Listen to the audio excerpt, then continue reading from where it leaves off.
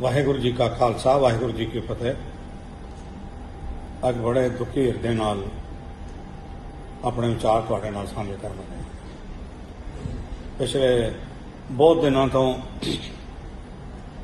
ਜਿਹੜੇ ਗੁਰੂ ਗ੍ਰੰਥ ਸਾਹਿਬ ਜੀ ਦੇ ਸਰੂਪ ਸ਼੍ਰੋਮਣੀ ਗੁਰਦੁਆਰਾ ਪ੍ਰਬੰਧਕ ਕਮੇਟੀ ਦੇ ਰਾਹੀਂ ਜਿਹੜੀ 267 ਤੋਂ ਬਾਅਦ 328 ਔਰ ਹੁਣ 400 ਤੋਂ ਉੱਪਰ ਵੱਧ ਗਏ।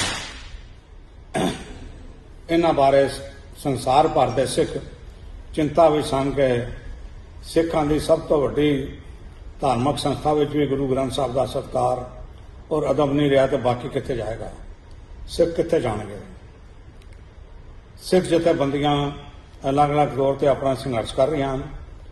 ਹਾਲਾਂ ਚਾਹੀਦਾ ਤੇ ਇਹ ਸੀ ਕਿ ਸਮੁੱਚੀਆਂ ਸਿੱਖ ਜਥੇਬੰਦੀਆਂ ਭਾਵੇਂ ਉਹ ਪੋਲੀਟੀਕਲ ਪਾਰਟੀਆਂ ਹਨ, ਭਾਵੇਂ ਜਥੇਬੰਦੀਆਂ ਹਨ, ਇਹ ਸਾਰੇ ਇਕੱਠੇ ਹੋ ਕੇ ਇੱਕ ਪ੍ਰੋਗਰਾਮ ਲੀਕ ਕੇ ਤੇ ਇਹਨਾਂ ਦੇ ਰੋਜ਼ ਜਵਾਬ ਖਾਣੀ ਸੀ। ਪਰ ਚਲੋ ਸਭ ਤੋਂ ਪਹਿਲਾਂ ਅਹ, ਗੁਰੂ ਗ੍ਰੰਥ ਸਾਹਿਬ ਸਤਕਾਰ ਕਮੇਟੀ ਵਾਲਿਆਂ ਨੇ ਅਲਟੀਮੇਟਮ ਦਿੱਤਾ ਸੀ ਵੀ ਸਾਨੂੰ ਦੱਸਿਆ ਜਾਏ ਔਰ ਜਿਹੜੇ ਦੋਸ਼ੀ ਹਨ ਉਹਨਾਂ ਦੇ ਖਿਲਾਫ 295 ਏ ਦਾ ਮੁਕੱਦਮਾ ਦਰਜ ਕਰਾਇਆ ਜਾਵੇ ਅੰਮ੍ਰਿਤਸਰ ਦੇ ਕਿਸੇ ਥਾਣੇ ਦੇ ਵਿੱਚ ਜਿਹੜਾ ਦਰਬਾਰ ਸਾਹਿਬ ਦੇ ਨਾਲ ਲੱਗਦਾ ਹੈ। ਪਰ ਕਿਸੇ ਵੀ ਪ੍ਰਬੰਧਕ ਨੇ ਨਾ ਹੀ ਬਾਦਲ ਦਲ ਜਿਨ੍ਹਾਂ ਦਾ ਕਬਜ਼ਾ ਸ਼੍ਰੋਮਣੀ ਗੁਰਦੁਆਰਾ ਪ੍ਰਬੰਧਕ ਕਮੇਟੀ ਦੇ ਉਹਦੇ ਪ੍ਰਧਾਨ ਨੇ ਸਕੱਤਰ ਨੇ ਕਿਸੇ ਲੀਡਰ ਨੇ ਦੇ ਬਾਰੇ ਕੋਈ ਆਵਾਜ਼ ਨਹੀਂ ਚੁੱਕੀ ਕੋਈ ਭਰੋਸਾ ਨਹੀਂ ਦਿੱਤਾ। ਗੁਰੂ ਗ੍ਰੰਥ ਸਾਹਿਬ ਦੀ ਬੇਦਬੀਆਂ ਕਿਵੇਂ ਹੋਈਆਂ ਹਨ, ਉਹਦੇ ਬਾਰੇ ਕੋਈ ਜ਼ਿਕਰ ਨਹੀਂ ਕੀਤਾ।